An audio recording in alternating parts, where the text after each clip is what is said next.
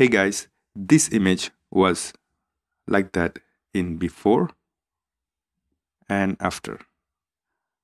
Before and after. Would you like to know how?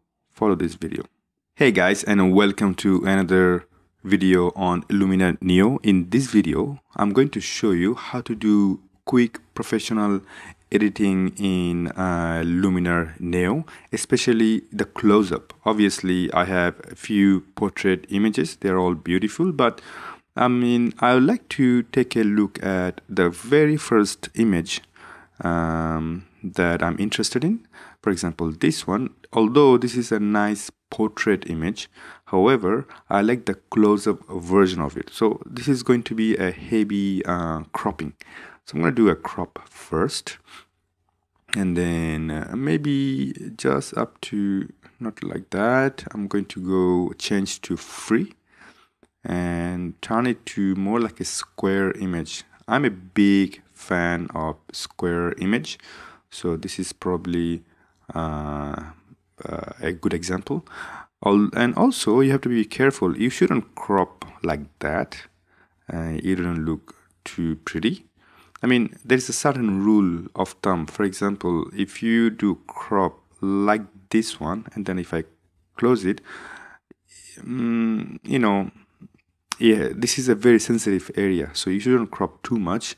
Part of the body might look very weird. So I would personally keep most of it. So there you go. Again, I'm going to change it to free. Or in fact, I'm going to go to one-on-one -on -one square and then just change that. Much better. And then in the corner maybe shorten a little bit and pull it down like there. Maybe you know the idea is don't cut the head and don't cut the elbow. That's all. Now I'm going to crop and close it and voila now, second thing I would do now, time to uh, make sure that the exposure um, and the background, everything is uh, much better than the earlier. It's already a well uh, exposed image, I gotta say. So I'm gonna go to relight and then do a little bit of brightness near and then uh, next to it I'm gonna go to brightness far uh, there you go. Uh, you can you know exactly what happened. So with brightness far in relight ai i um, dark i have darkened the background and in the brightness near i have brightened the foreground. Uh, now huge change clearly right? Now just for fun um, i'm gonna test um, sun ray let's see if it's if it gives me anything. You know just for fun again. So I'm gonna just add like 36 amount. Pull it here. No it does not look strong at all so I'm just gonna get rid of it. Not a big fan. Now uh, in the portrait section Definitely I don't need bokeh because it's just a plain background. Uh, the face, I mean the face is bright enough. So I don't wanna, I don't have to add a face light. Like if I do face light, it's just gonna get too bright. So I'm gonna go backward, you know, not necessary. Uh, the face in the face section you have eyes and mouth ah this is those are probably gonna be more interesting for example um, eyes original if I change it to blue what happens? So it changed the uh, color to blue. Quite interesting huh? You know what? I'm gonna play a little bit.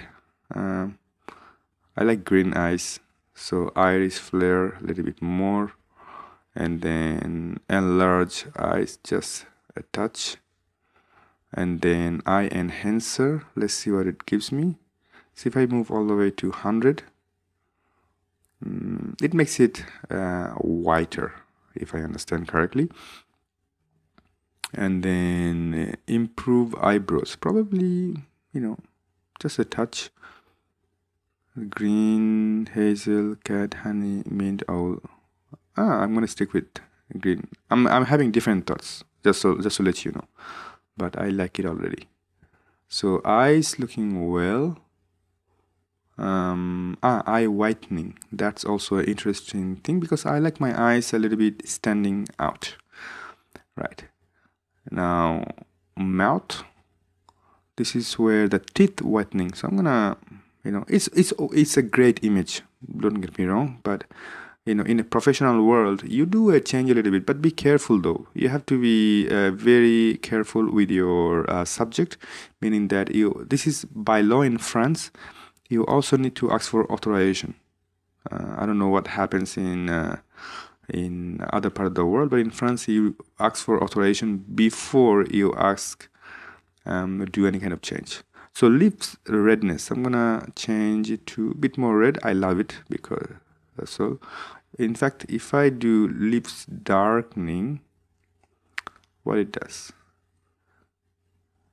You know they're both amazing you know both amazing. I have a huge respect for this subject so I'm not gonna go uh, too far.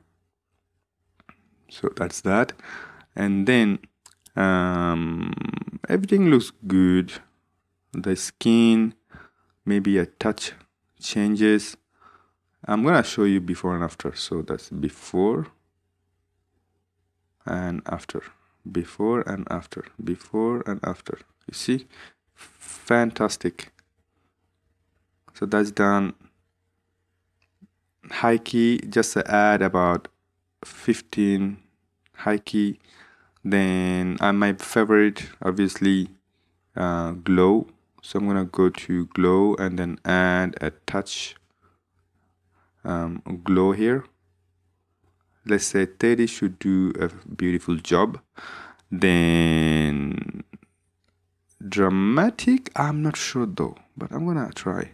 Nah dramatic is not working in this kind of environment. Um,